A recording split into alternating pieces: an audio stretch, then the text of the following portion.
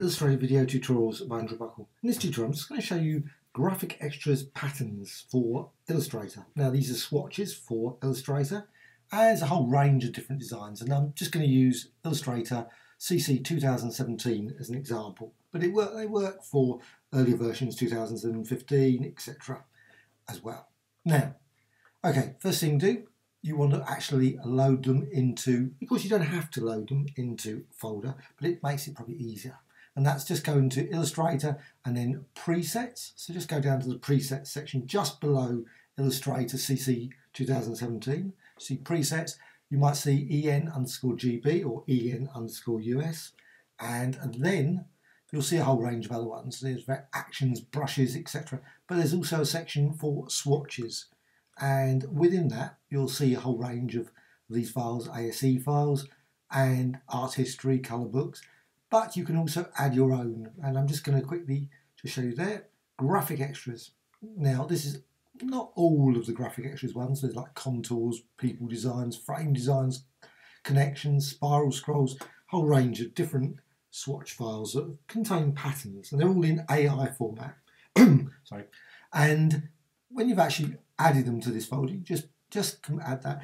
With mine, you need actually to add it with permissions, with a privilege. So uh, you might prefer to actually add it to your user account. It's a similar sort of structure, but uh, it's a different place. I've got lots of videos on YouTube showing how to actually add those files to that folder. Now, once you've actually added to that folder, what you do, just go back and now you can just go over here to swatches. To actually find the swatches, just go to window and swatches, just down here, window and swatches and just drag it over here. Now, they don't initially appear in the swatches.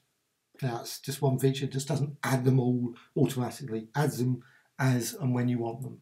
So just go over here to the right side and just go down to open swatch library, and you'll see the ones I just said earlier, art history, ancient Baroque, etc. A whole range of different. So what you can do there, and you can see now the Graphicxtras, and you can see the actual swatches files that I've added frames, spiral scrolls, arrows, etc. There's also an other library. And that's quite useful because if you don't want to add them to a to that presets folder, swatches, you can then just search from browse from and that sometimes is quicker. Personally, that's probably I find easier to do than actually adding them into that uh, that. Anyway, once you've actually done that, you can just quickly select any of these designs. I'm just going to select one or two or three, and I'm going to go for say P letter CC. Uh, this is a letter design set and I've also added one CC one there. Now you can see them there and I'm just going to put them into, got small, medium and large. Personally I wish it would always just default to large. Don't know why it always puts them, defaults them to small. I don't know. Anyway, that's just a feature of how it works. And then you can see all the various, again, I say you can see that they're not added over here in the swatches. Very odd, but once you've actually loaded them, what you need to do then is actually select them and just add them like that. Just very quickly, if you want to add them into your swatches. Now, in this case, they're added into the document you've actually got open. That swatches. So basically, all the swatches now you've added there. If you go and open another document, they're not there. Now, that's, well, depends what you want to do with. Now, once you've actually done that, you've added those, you can also add them when you actually use them, which is probably a better way but you just you can add them that way. I'm just showing. Now I'm just going to use here just a very simple part, but you can use any path. You can just go. I didn't have to use that. I could use a circle, use ellipses, and so on and so on. So you can just actually quickly create. So I just create a quick path there, and you can see the design has been added there. And I can leave that now. I'm just going to drag that out there a little bit. And then, of course, once you've actually got them, you can actually select them there. You can see them added very quick and easy into there, which is great. You can also then, once you've actually got them, and once you've got them into the, because this is a read-only file, so you can just select designs. And all these are royalty-free. They're all for commercial use, so you can use them in a whole range of different projects. So just use them as you want. Sort of use them with text. You can transfer them also to other applications. You don't have to keep them in Illustrator.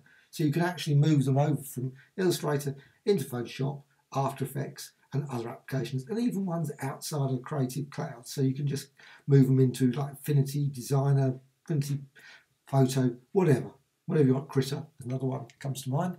Now you can add them like that as fills, and I'm just going to go now to a, a different one. So you've got CC over here, and again, so you can see it's done very small, not very convenient on a very large, so you can see the designs.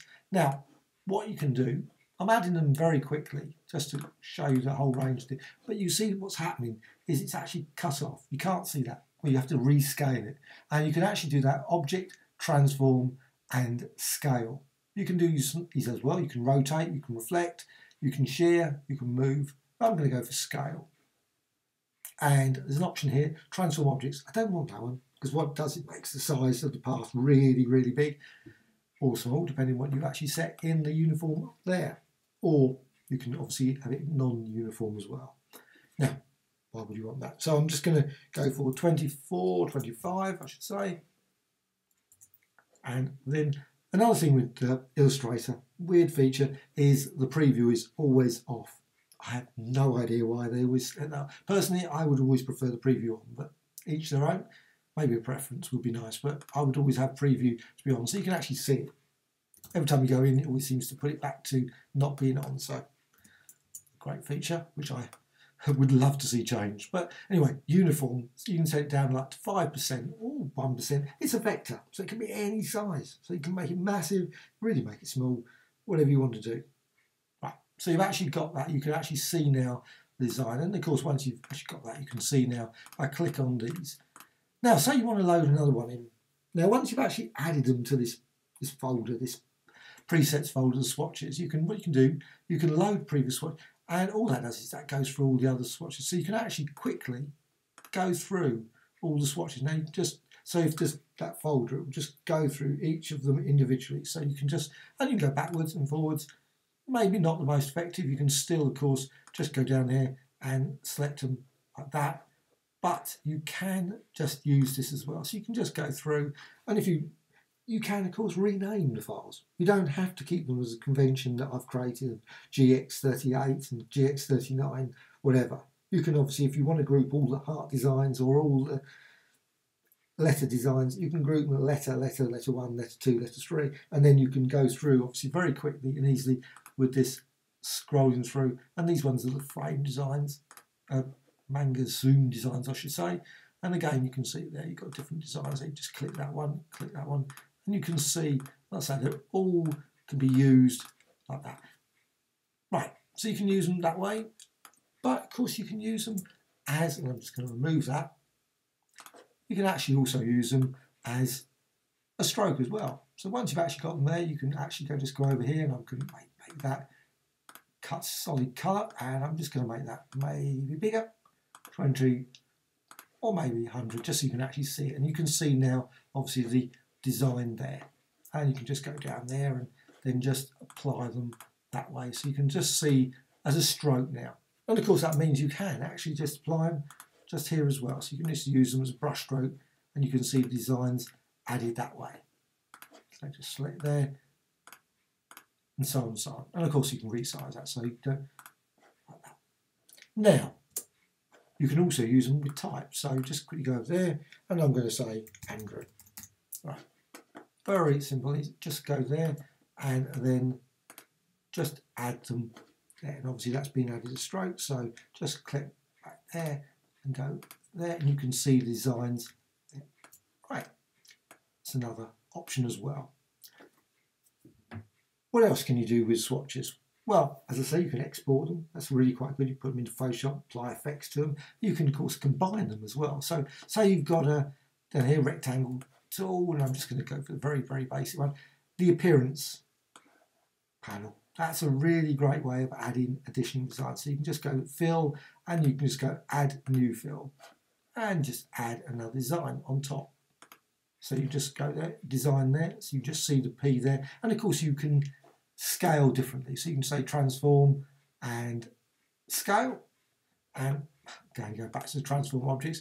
What you can do, say 30 at that point, you can see you can change that. You've also got various blending modes. You can change the opacity and that's like much more, as well as apply effects as well to it. another feature that might perhaps be of interest, I'm just going to, you can actually interactively scale as well. So you can hold down the grave key. It's just near the tilde or tilde, whatever you want to call it. But anyway, it's the grave, grave, grave, whatever you want to call it. Grave maybe. Now, what you can do, hold that down and then hold the rotate. So you want to rotate or scale, you can actually just then interactively see, just do that. And that maybe it's quicker than doing it. I personally, I'm quite happy to go with the transform, but you can just do that and rotate them around interactively using that. That's one way of doing that. And now, what more can you do with swatches? There's a whole range of different things. Like I say, a whole range of different designs.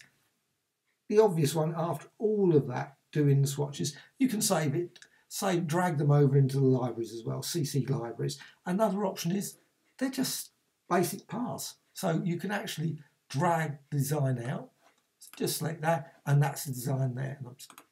So you can actually see it. And it's a standard path, so you can actually edit it, modify it. You can just go over here, use color guide, change the color, and so much more. You can also then just save it over into symbols. So if you've got window or brushes, so symbols, bring up the symbols, and then just say, well, I want to use that as a symbol. Just drag that over there, and it can be used as a symbol doesn't have to remain as a swatch. So that's a fair run through, I think, of all, some of the features. I'm certain there's thousands of other things you can do with swatches. And you, like I say, you can recolor them, you can edit them, modify them. And that's actually one thing I can just, before I finish doing this thing, I'll show you another couple of sets. Just go through there and just select one. And yeah, just going to go, stops. Yep, it's going to stop at this point. I can just click there and then just go to the swatches, if I can find it. What you can do then is you can say, right, I want to edit it.